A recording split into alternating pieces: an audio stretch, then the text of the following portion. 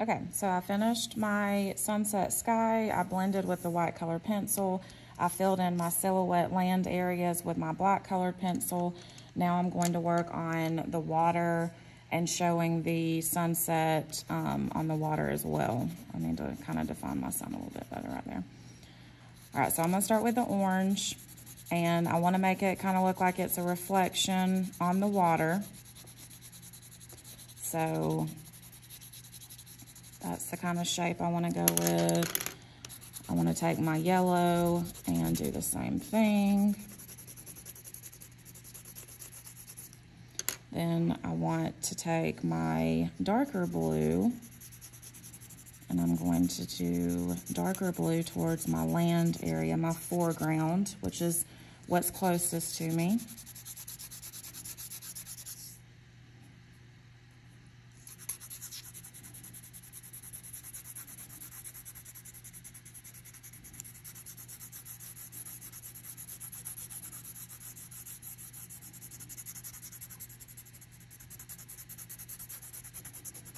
I'm gonna make sure my lines are close together.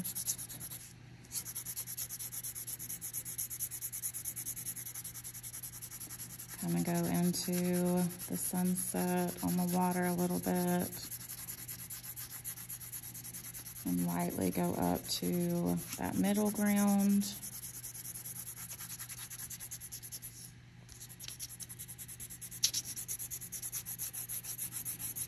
And then I want to take my other blue that I have and start kind of towards the middle. Go through the sunset part a little bit.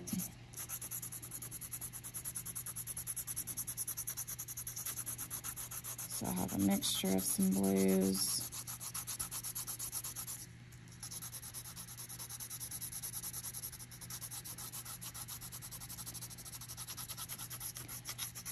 All right, and then I want to take my white colored pencil again and I want to go over and blend to give it a smooth transition and look.